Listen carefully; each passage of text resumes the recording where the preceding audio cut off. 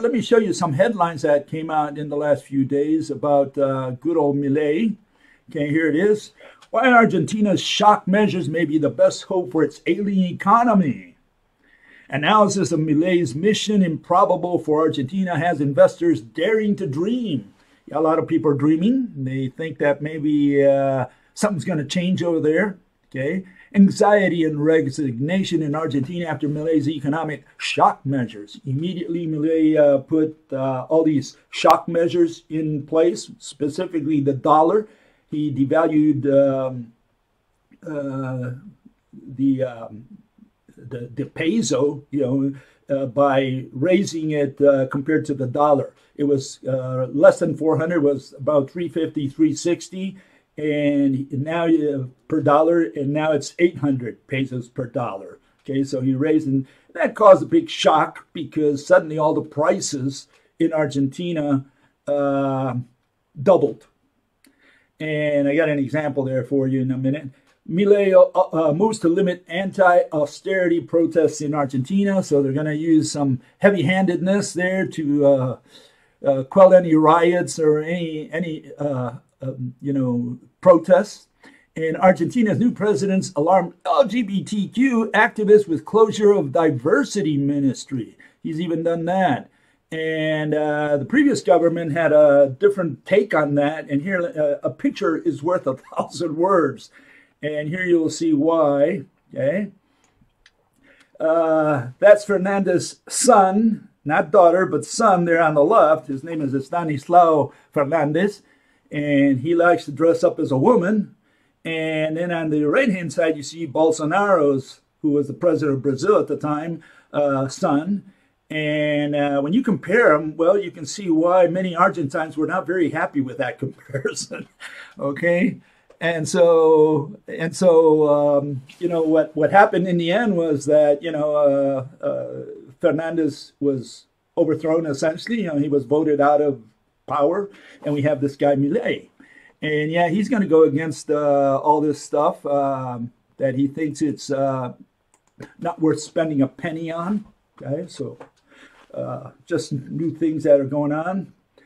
And uh, obviously, a big change in policy. Not only that, uh, Milei um, aligned himself with the United States and with the Western world, which is a total change from the Fernandez regime, the two Fernandez regimes, even um, even the the woman, you know, Cristina, and they're not related. The two Fernandez, by the way, they have the same last name, but it's a very common name down there.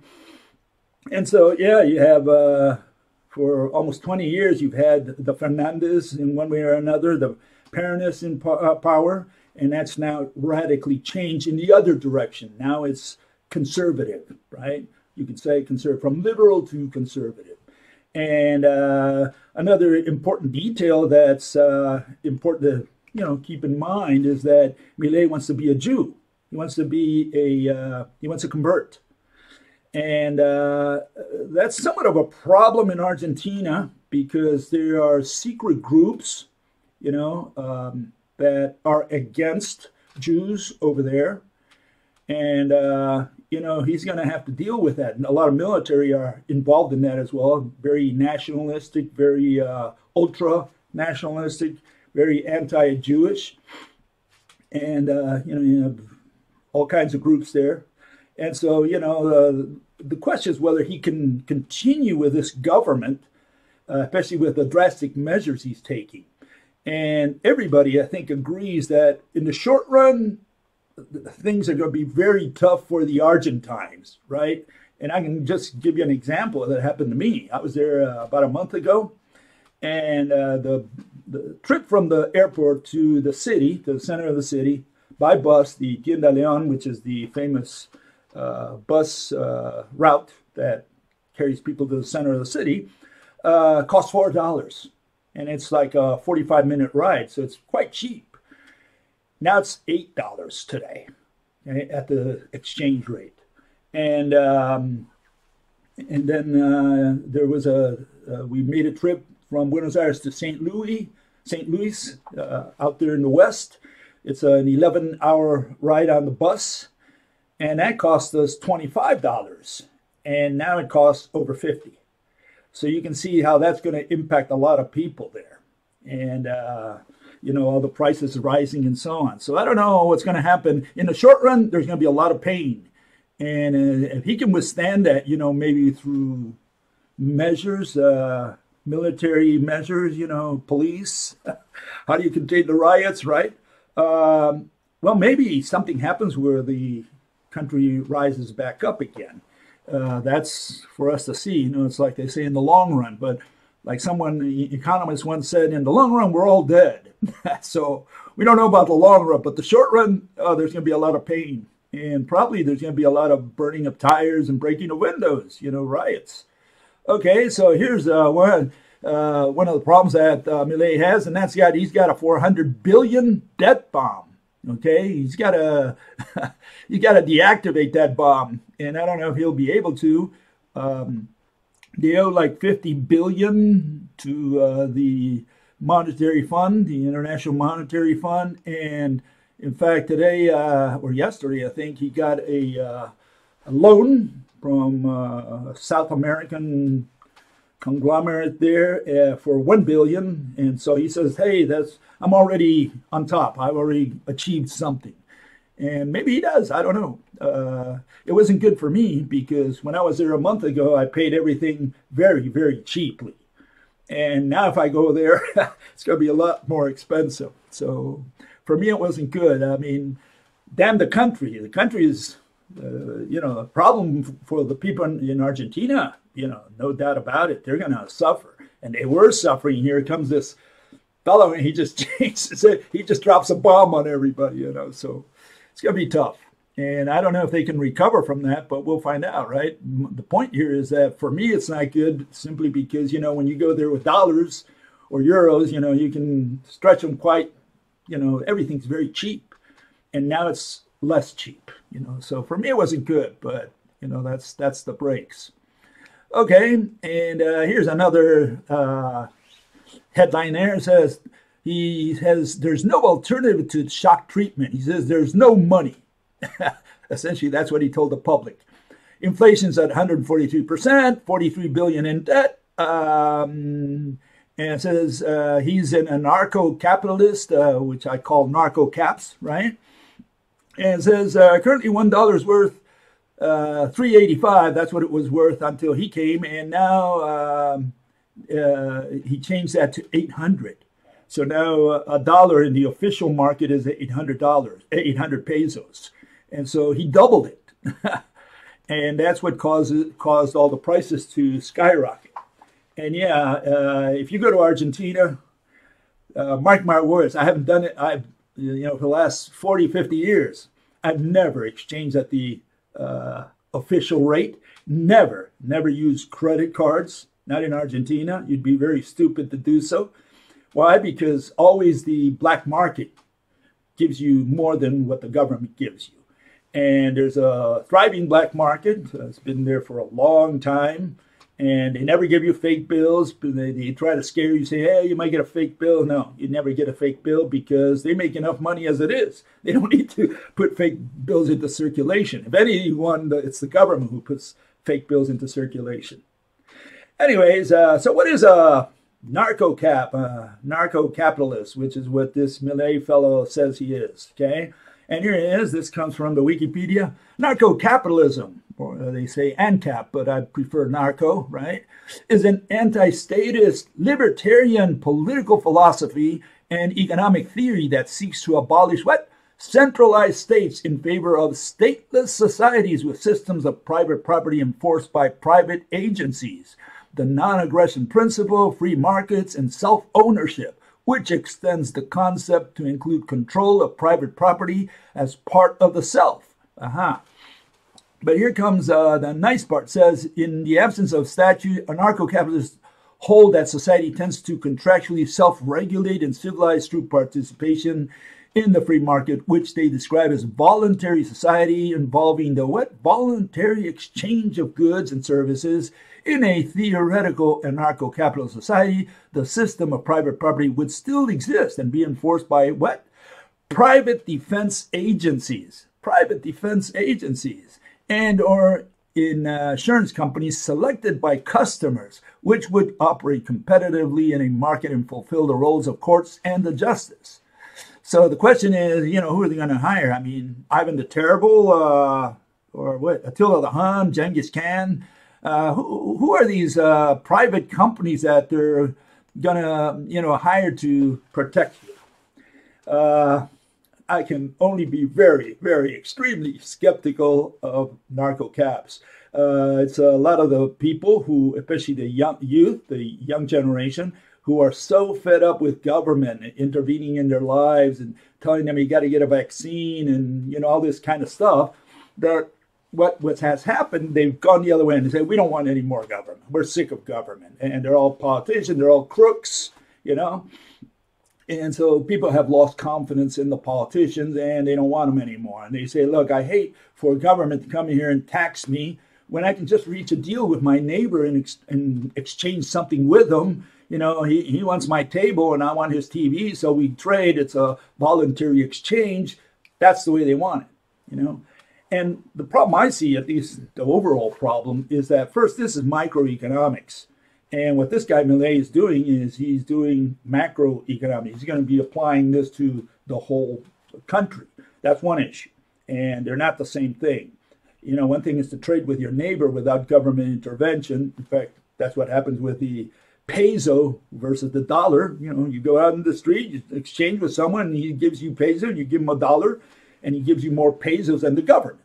Very simple. It's uh, narco cap at its best, you know. But uh, the question is, you know, these people live under the umbrella of government, and it's easy to trade and do all that stuff when you have a government, when you have already a society running.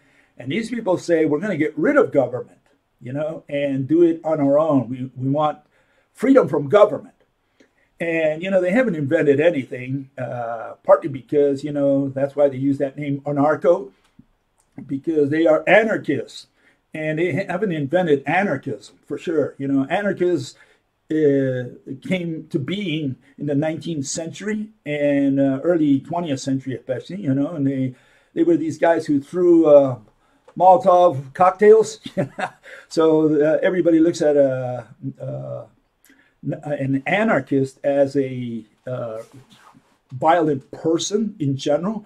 But these guys say, no, no, we're going to do it the civilized way. We're going to do anarcho capitalism, you know, and so we're going to do it, you know, by just ignoring the government, trying to get away from them and finding ways of skirting taxes and all that, all of these things that they impose on us. And we're going to try to do our own thing on the side. Yeah, you can do that. You can do it on your own. But the question is, uh, you know, you're, you've got still the government there. How do you get rid of government is the question. And, uh, you know, one of the guys who tackled that was Marx himself. Karl Marx said, hey, you know, communism, this is the way he envisioned it, will evolve to a point where at some point, you know, there, uh, people are going to decide that they don't need government anymore, and government itself will cease to exist he saw the same thing. He was uh, in the uh, uh, you know deep in his heart, he was an anarchist. In other words, he said, "Let's do communism first, and we'll work our way, you know, through the dictatorship of the proletariat. We're going to work our way to no government, to anarchism." What he objected to is imposing anarchism, uh, you know, anarchy. That same in his days, he said it's too early.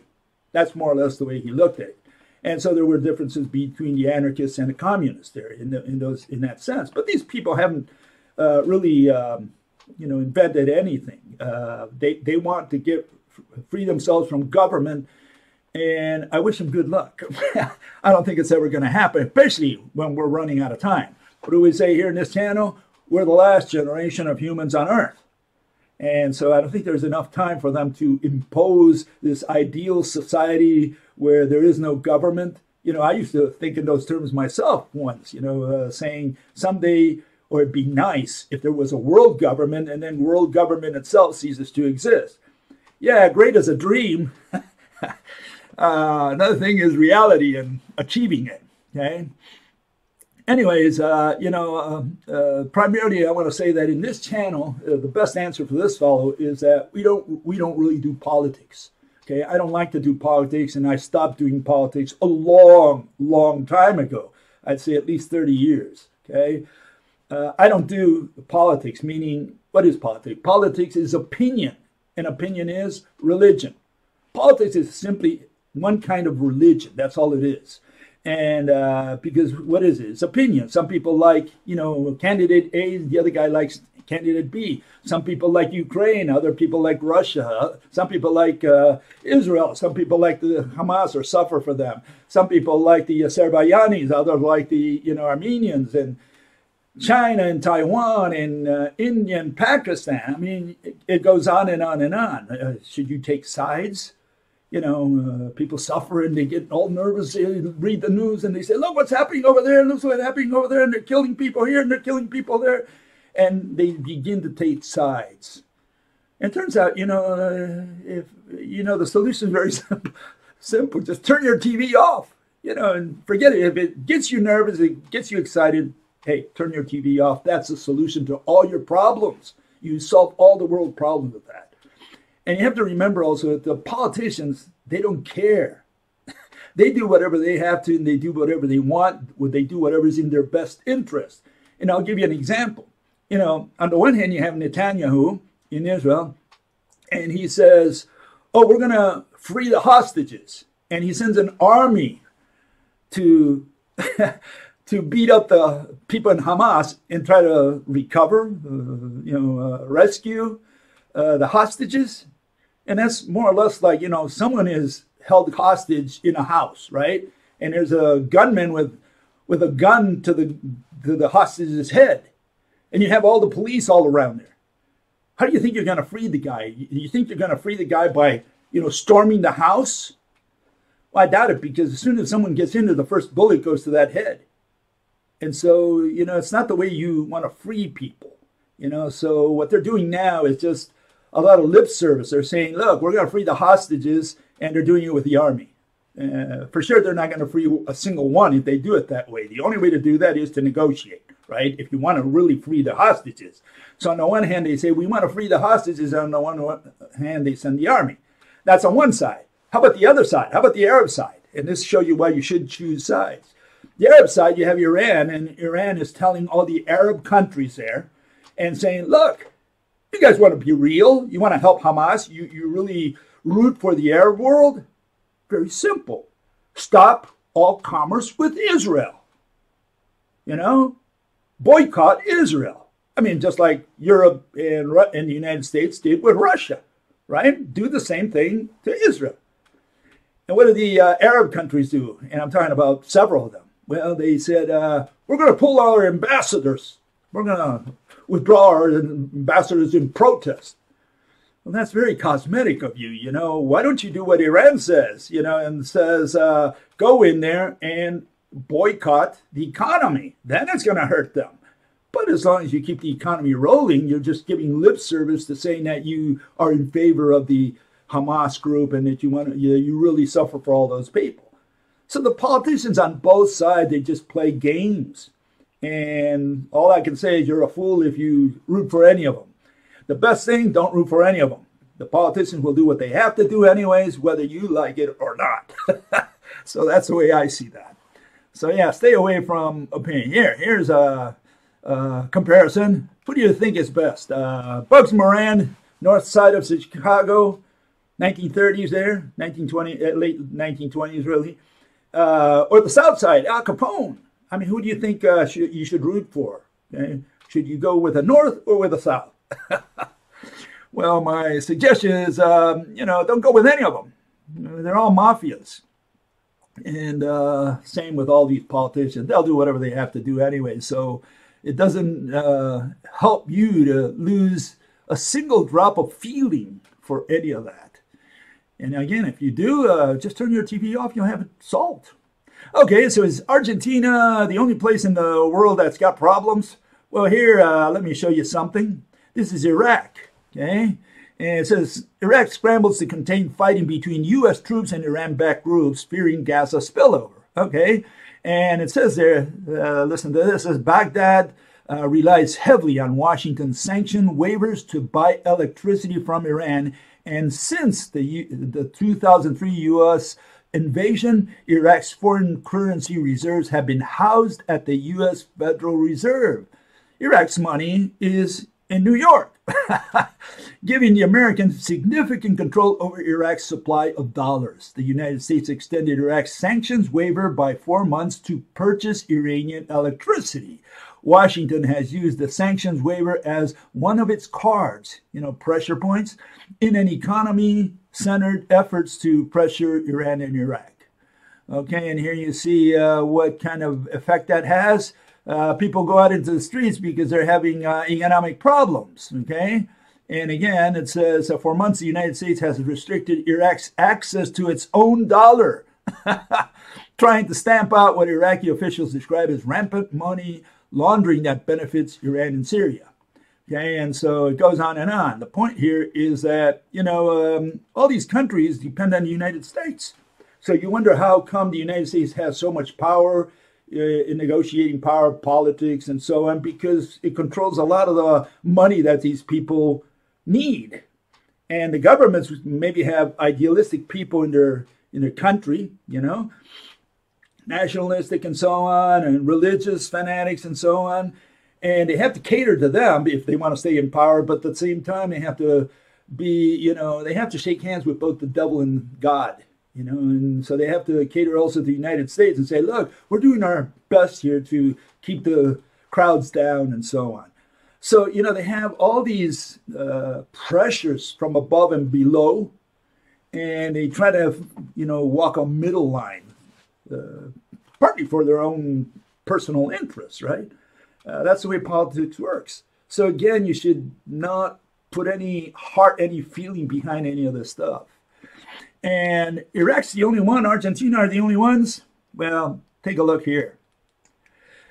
It says India, Brazil, and Mexico, uh, India, Brazil, Mexico, and Indonesia could emerge as engines of global growth. One one liner that I found around there, right? And so you look at these and say, okay, let's see how well these people are doing. And the reason they mention those four countries is they're highly populated. There's a lot of population there. Uh, says here, uh, India, uh, for example, Brazil, economic growth will be just 2.8 in 2022 and 1.2 in 2023. The current economic crisis, right? There's a crisis there, has had a severe effect on the Brazilian labor market. In 2021, the World uh, Bank calculated 14.4% of working age Brazilians were unemployed. And I would say it's higher because all those people who work in services are also unemployed. Okay, is Indonesia doing any better? Okay, another very populous country, uh, I think third or fourth in the world. The three key economic challenges for the Indonesian government are controlling inflation, providing job opportunities through investments, and maintaining growth. How about Pakistan, another populous country, is faced with a number of economic challenges which include a balance of payment crisis, soaring inflation, mounting debt obligations, and persistent budget deficit. And then we look at Nigeria, the biggest uh, economy in Africa, in the continent of Africa, followed by Egypt and uh, South Africa. And it says uh, persistent inflation to reach a 17 year high of 25.8% in August 2023, which, in combination with sluggish growth, is leaving millions of Nigerians in poverty. Okay, uh, so how are all these countries doing? I think they're all doing terrible. There's not a single country on the planet that's doing good. And you might say, well, that's always been like that through history. Uh, this is new what we have today is new. And uh, I keep saying, you know, the reason it's new is that we're in a different type of eco- uh, economic mode. Economic mode. We're in a service economy. Before we were in, you know, manufacturing, and before that we were in agriculture. Service economy, totally different ballgame. Okay, uh, the most advanced nations on the planet have 80, 85% of their economy is services. What is services? Services is another word for unemployment. You don't do anything. You're not producing anything. You know, you look from the sky, you look down on the earth, you see what's constructed. You see the material things that have been constructed and, and made. You don't see the promises. You don't see the bank accounts. You don't see insurance. You know, all those and any other uh, service that you can think of. You know, those are not there. Service is unemployment. There's nothing being produced. And you judge a country's expansion by, you know, how much uh, progress you see in the material things. Okay, and so uh, all I can tell you is that uh, you know there's a lot of unemployment, and we're creating more services and less manufacturing, which is be, a lot of it being replaced by robots, by the way, and more efficiency. And um, agriculture in the, the, most advanced nations is like 1% of their GDP. So uh, just keep all that in mind. Uh, the global economy is not doing well at all. And what is the, what do we say here? We're going to say that the global economy is at some point going to collapse. We cannot grow forever. Partly we cannot grow forever because population doesn't grow forever. In fact, population has been it's not declining, it's still growing, but it's growing at an ever slower rate, and we will reach zero population growth on the planet as a whole, uh, probably by mid century, if things continue as they are now. That means that companies that expect more demand tomorrow, more customers, well, they're going to be out of luck because there's going to be fewer and fewer marginal, you know, uh, increases in in um, in population, that means you're going to have less and less demand over time. At some point, there's going to be a crisis that cannot be solved just by creating money or just modifying the money supply or anything like that. Any fiscal or uh, monetary policy will fail. You just can't put people to work uh, in un- unnecessary jobs. And we're going to reach that stage. I think, and at that point, uh, at some point, money will be no more. In fact, we're having a very interesting situation in Argentina where people can barely make it to the end of the month. And uh, the government is now giving a bonus between 50,000 and 80,000 pesos, which is about 50 to 80 dollars, to keep them running till the end of the month. That's how bad things are over there.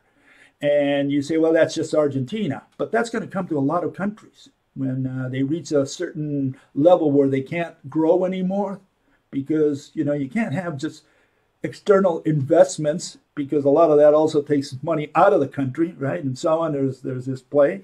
But just to make a long story short, I'm just saying you cannot keep growing forever economically. Okay, and at that point, at some point, right there, no matter how much money they give you, will not be able to make it till the end of the month. And even the workers, you know, they receive money and they barely make it to the end of the month. They can barely pay rent and also food and at some point, there, there's going to be such a crisis that people will say, hey, money is worthless. I don't want that money anymore. I, I want something real, like food, you know. And it will be the fight between the haves and have nots. The haves will be those who have food, and the have nots will be those that don't. okay, that's uh, in a nutshell what I have to say about that. But again, we don't do politics here. I'm not interested in politics. The only reason I mention politics is in relation to extinction. That's the only time I put economics and politics into uh, into the conversation. Other other than that, I'm not interested in either subject in uh, in any specific way. You know.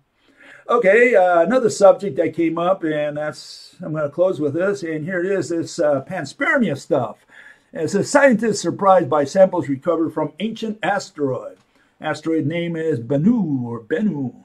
Among the findings from the early Bennu analysis are what could be the building blocks of life, organic compounds containing carbon-carbon or carbon-hydrogen bonds. Meteorites found on Earth have had similar compounds, and as nature explains, those carbon-rich minerals may have contributed to life on our planet. Okay. And so, what are we talking about? We're talking about you know little bugs crawling on a um, on an asteroid and having a free trip down here to uh, Earth, right? And so, what is this panspermia? Well, here it is. Here's the definition from the Wikipedia. It says the hypothesis that life exists throughout the universe, distrib- distributed by space dust, meteoroids, uh, asteroids, comets, planetoids, as well as by spacecraft carrying unintended contamination by microorganisms, uh, known as directed panspermia. Okay, the theory argues that life did not originate on Earth, but instead evolved somewhere else and seeded life as we know it. And this is what panspermia requires: says uh, that life has always existed in the universe somewhere, and we have no problem with that one because we're saying the universe was eternal. There was no, never a first living entity in the universe, so we agree with this. uh, except we have a different context for it. Okay. Organic molecules originated in space, perhaps to be distributed to Earth. Absolutely not. Life originated from these molecules extraterrestrially. Well, there is extraterrestrial life out there. I'm convinced of that, but uh, that doesn't mean that number four is correct, which is this extraterrestrial life was transported to Earth. Okay, here we maintain that um, um, you know, uh, life cannot, no living entity can travel interstellarly, let alone intergalactically. Okay, it's impossible. It's just beyond. Uh, Mother Nature never intended for that to happen. Neither did Father Universe. So here we have uh, what these people say. That let me illustrate this. Here it goes. You see the little bug on an asteroid. Okay, some kind of bug, some kind of living entity. It doesn't matter. And the asteroid comes to Earth, right? And somehow, you know, lands. You could say collides. We can say it has a soft landing, no problem. And the bug now, you know, uh, travels within the earth, maybe on a branch of a tree, you know, and he gave life to all of us eventually, right? Okay, it's not that kind of a bug that we're talking about. Obviously, uh, I'm just showing that there's a living entity traveling on on a rock, right? And no, it's impossible. It's impossible first because the rope uh, does not allow, okay, for any uh, rope model of light does not allow for any living entity to travel to the nearest star. Okay, uh, you can send robots, yeah, that could happen, but not living entities. Okay, and living uh, is that which moves by itself without the you know artificial, not not artificial, I mean uh, natural, uh, that moves against gravity, moves against the uh, path of least resistance. Okay. Anyways, the point here is that I think uh, the world is about to collapse very soon, the global economy. When, not if, but when that happens, well, we're all um, screwed. uh, it's the end of man. It's the end of our species. And someday I think we have to end. Why not sooner than later? I mean, do we get to choose uh, or does Mother Nature get to choose when humans disappear from the face of the earth? And with humans, the whole mammal uh, order uh, disappears as well. And uh, that's what happened to the dinosaurs. You know, and part of the reason for that is that we're going to liquidate any living entity before we go. we're going to eat it. Okay, so get ready for the next few years, something might happen and I think it's uh, going to be sooner than, rather than later. That's my five cents worth on that.